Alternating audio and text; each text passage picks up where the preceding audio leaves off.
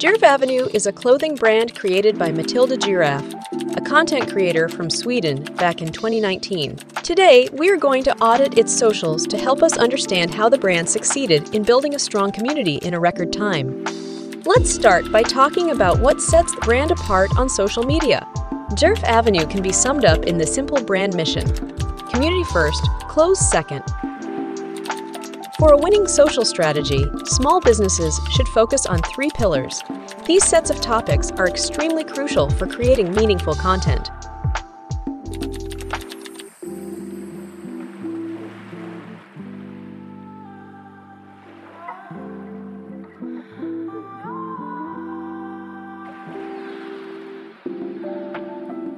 Now let's discuss the branding aesthetics of Djerf Avenue. Following the choice of her three pillars, we see a lot of neutral shades, toddlers inspired colors, and earthy tones in her clothes, but also in her content and environment,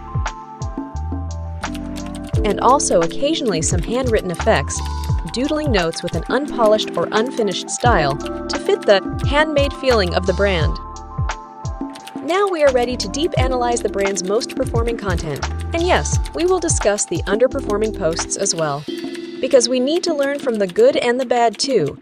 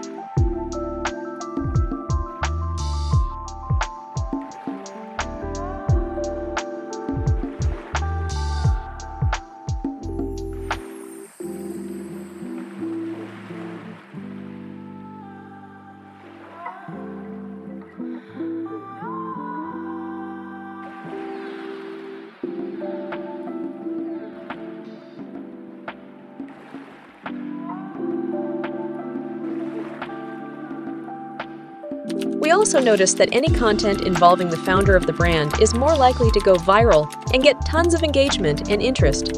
So don't hesitate to occasionally put yourself at the front of your business. If faceless content is your thing, then get inspired by the brand's signature poses. They are quite famous and massively copied out. They are by far the most liked static posts on its Instagram account.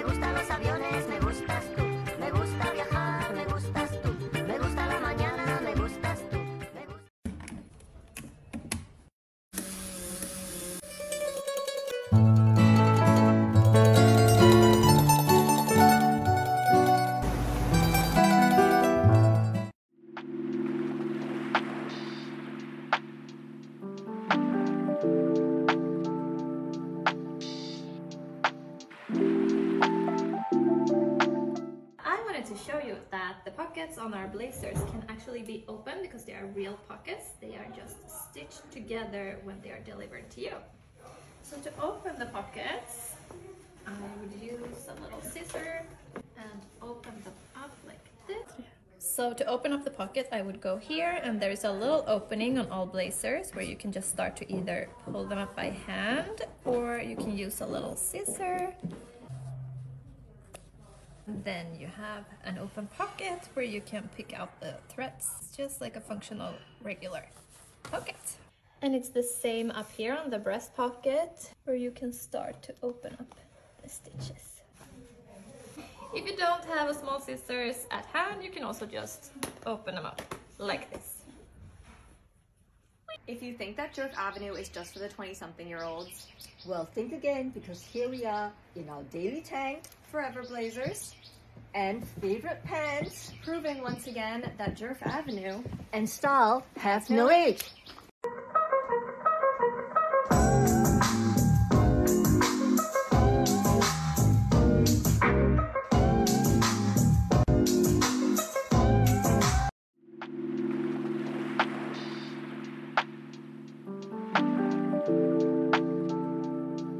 While it's very hard to know exactly why a post underperformed, there are some signs that are somehow very telling. When we look at these images, we get a certain feeling that they don't belong well into the branding aesthetic of Djerf Avenue. They are quiet basic, cold, or even overstaged, which is maybe why they didn't get half the love other signature posts got. Here we have some low views reels on the brand's Instagram. Our interpretation is that maybe the topics are irrelevant to the community, or that the scenery is just basic and uninspiring, or maybe the absence of hooks and text makes people scroll up.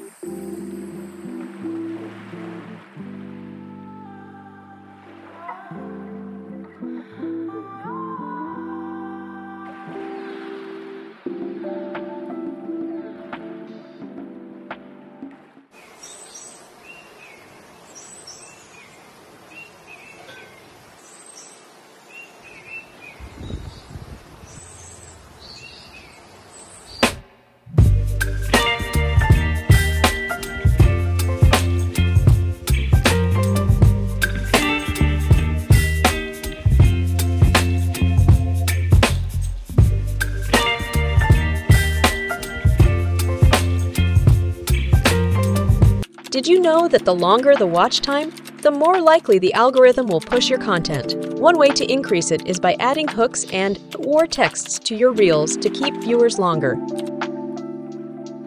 Reels are not the only way to grow on Instagram. In order to reach more people, small businesses should find a balance between static posts, slideshows, and reels. The growth of the brand is driven by the popularity of its founder. Matilda represents the muse and ideal client of her own brand.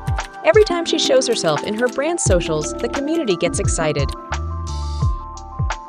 Instead of creating content about your products equals commodity, think about how you can create a community with a common interest around your products. Example For a bridal brand, start a community of future brides around tips hacks to plan the best wedding ever, and then you start selling your amazing bridal dresses and services.